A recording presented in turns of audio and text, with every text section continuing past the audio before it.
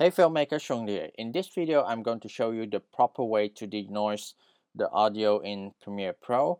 Most of people will use the wrong effect. They will use the denoiser in the standard effect list and just drag it in and then denoise audio.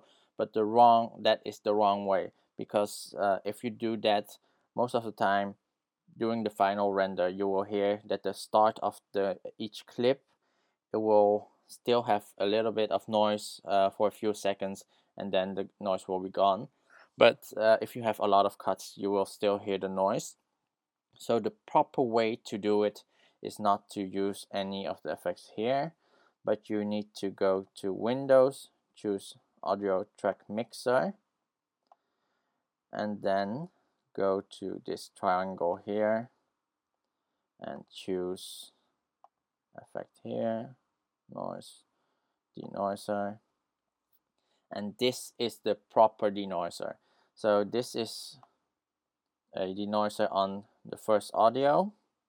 But you if you have like on multiple tracks that you got uh, you want to remove the noise you have to add more on also the denoiser on the rest of them.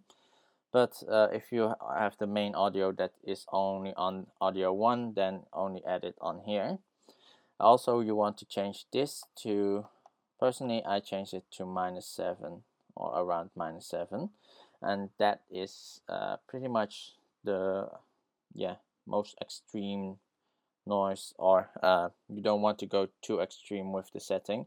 But minus 7 seem to uh, do or clean up most of the audio uh, with a little bit hiss or noise in the background so yeah, that was mainly it, the quick tip of today, how to denoise in Premiere Pro. Hopefully you find this information quite useful and like this video. And uh, if you want to see more upcoming videos, please subscribe and I'll hope to see you the next time. Bye bye.